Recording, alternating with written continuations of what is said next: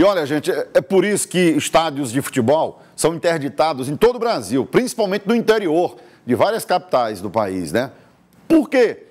Porque não existe fiscalização. Vocês lembram, vocês lembram que todo ano aqui no Piauí, a manchete é: Federação é, faz uma varredura nos estádios do Piauí.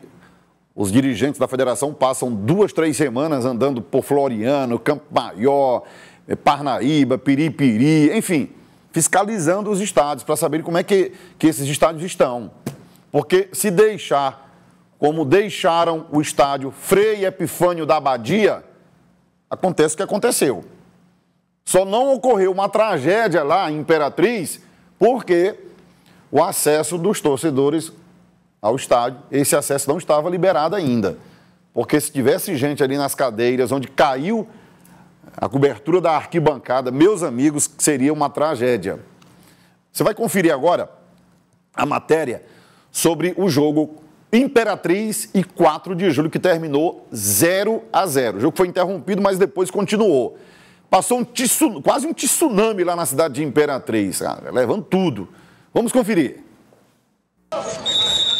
Imperatriz e 4 de julho entraram em campo pela 13ª rodada do Brasileiro D. A tarde de sábado era de sol e calor no estádio Frei Epifânio. Mas, restando 15 minutos para o fim do jogo, o tempo mudou. Uma chuva torrencial começou a cair sobre o local e com ventos muito fortes. De repente, parte da cobertura do estádio onde ficam as cadeiras sociais desabou. O momento foi de pânico e muita tensão.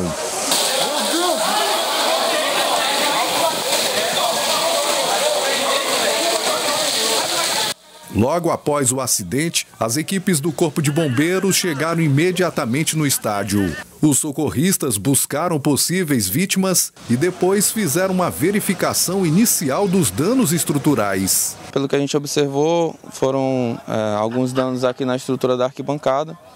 E aí, a princípio, nós observamos se, se houve vítimas na situação, graças a Deus não. E a partir de então, nós é, partimos para a desocupação da parte onde estava a imprensa, lá em cima. Né? Jogadores, membros das comissões técnicas e arbitragem foram para o centro do gramado. Muitos ainda assustados com a situação.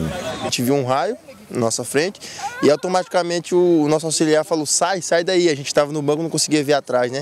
E aí a gente só correu, quando a gente olhou para trás, viu, a, viu tudo caindo, vento, placa, placa voando até no nosso companheiro ali. E tipo, um momento de pânico, né? A gente não sabia o que fazer, só para onde a gente corria, a gente via vento, água. O presidente do time do Imperatriz conta que assistiu o jogo exatamente onde a maior parte da cobertura caiu.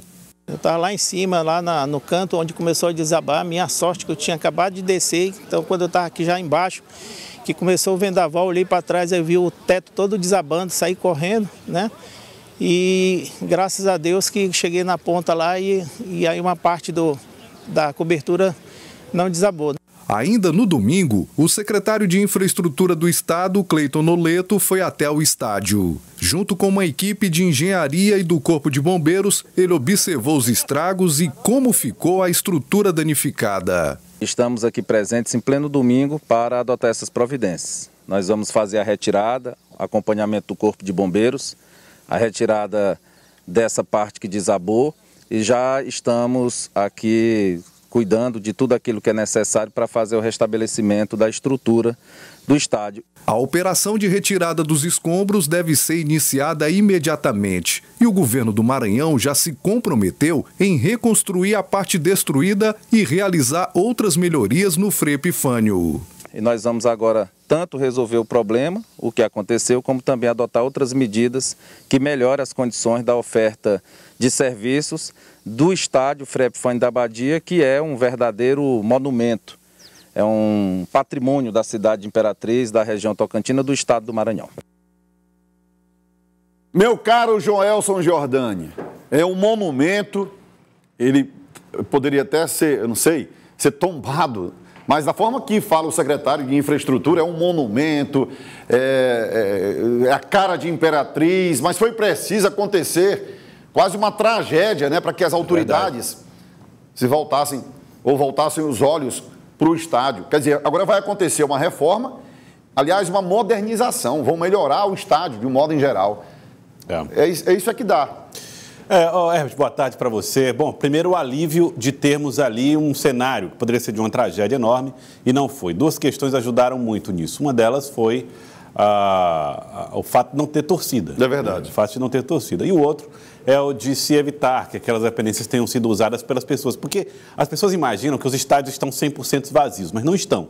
Tem gente trabalhando, tem dirigente, né, tem equipes que geralmente ficam ali no entorno. Eu acho que uma partida de futebol como essa reúne, fora jogadores, umas 30 pessoas, 40 pessoas. É, ou até mais, né? Ou até mais. É. Poderia ter acontecido uma tragédia, matado alguém nisso. Então, o primeiro alívio é esse. O segundo alívio, claro, é saber que, apesar disso, o time do 4 de julho saiu com o ponto que precisava para chegar à próxima fase do Campeonato Brasileiro da Série D, né?